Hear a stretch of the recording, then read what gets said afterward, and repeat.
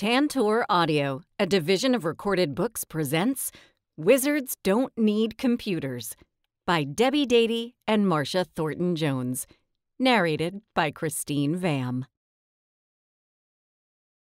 Chapter 1 Fit for a King.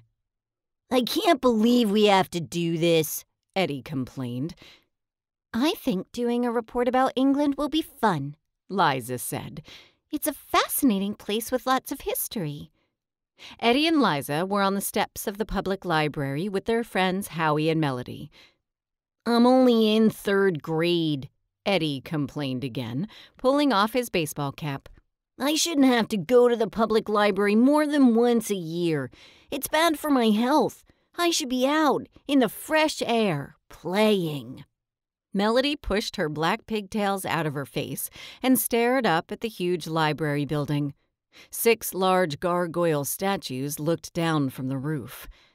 I don't mind going to the library since they fixed it up, she said.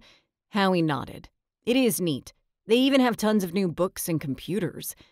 If they really wanted to make it neat, Eddie told them as he pulled open the heavy library door. They'd add an indoor soccer area and pinball machines. Liza giggled. Who ever heard of a library with pinball machines? Eddie stopped at the door and stared inside the library. Who ever heard of a library with an ocean inside?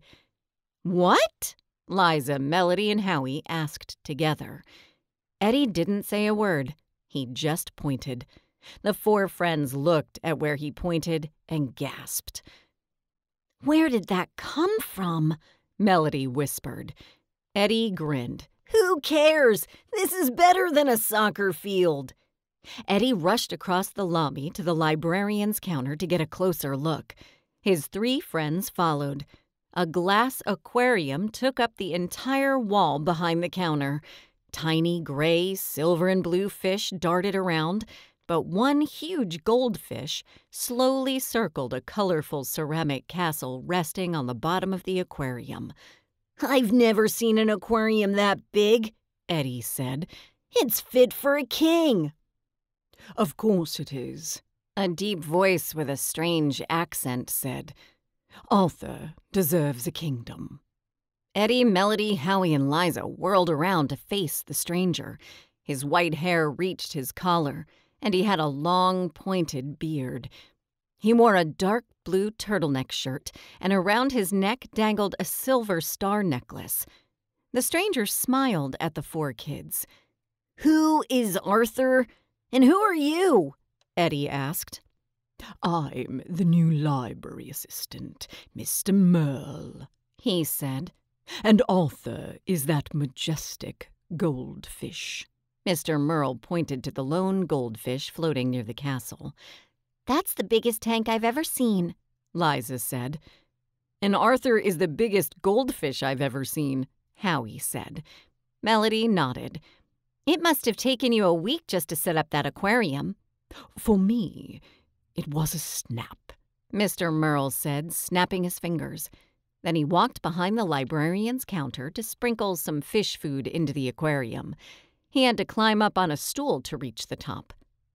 Howie tugged at Liza's and Melody's elbows to get their attention. He put a finger to his lips for quiet and led them across the library into the science fiction section. Eddie trotted after his friends. What's wrong with you? Melody asked. That fish tank wasn't there the last time I checked out a book, Howie told them. And that was just yesterday. Eddie's eyes were round. You came to the library yesterday? Why? To check out a book, Howie repeated. Eddie rolled his eyes. No wonder you're upset. You're spending way too much time in this library. That's not the problem, Howie snapped. An aquarium that size takes a long time to put up.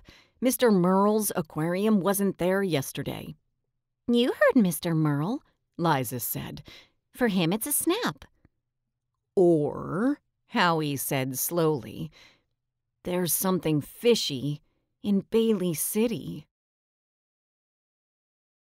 Chapter 2 Camelot We'd better find books for our. We hope you enjoyed this preview. To continue listening to this audiobook on Google Play Books, use the link in the video description.